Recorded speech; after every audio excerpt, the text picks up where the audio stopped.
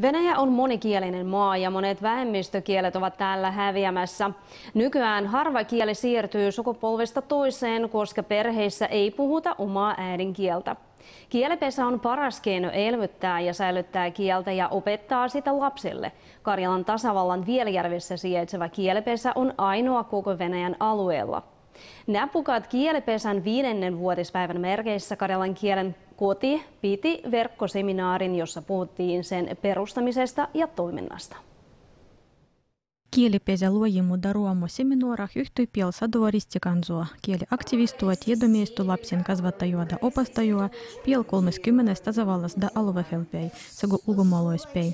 Ja pukoin kasvattajat sanelti homos ruovos da kielipesän argipäivis, oli paginua kaksi kielisyös, da sidge mida hyvittu kielipesä touvu lapsille da kielille.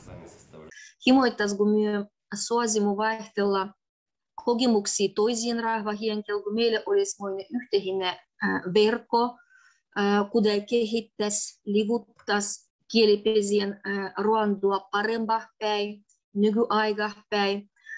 Olen tämän seminaaran eräs homma ja organisaattori minä lopussa toivoin ja sanoin ennen, kun tahtottu riippuu omasta kielestä, tunnettu, että se on häviämiselle, kuolemiselle. Kielipesä olisi täksi aikaa aina mahto lavuttua kielty omassa eläintökohtaisessa.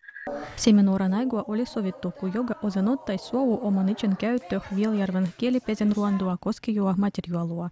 Химой тас уско, гусуаву тыйот данев вот пять кели пези венял риженис, а вехимисто келиен арво ноузис.